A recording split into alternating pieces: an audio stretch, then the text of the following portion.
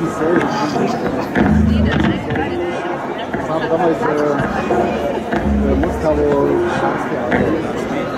Da ging halt mehr oder weniger Musiker mit.